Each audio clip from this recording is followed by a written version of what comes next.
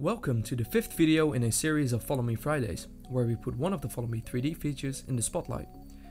In this video, I would like to show you the ability to map any stage layout. For Follow Me to run correctly, we need to know the outline of our performance area. For this, we add calibration points, of which we must know the XYZ coordinates in 3D space. To do this, first decide on your origin point.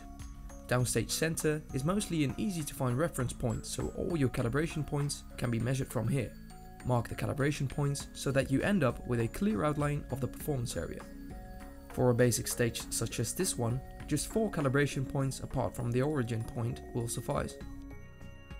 Stage calibration points can always be planned in advance from a CAD plan or measured on location by using our laser measure integration to send data directly to the Follow Me software.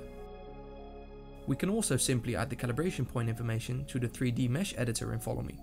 An unlimited amount of calibration points can be added to define the performance area.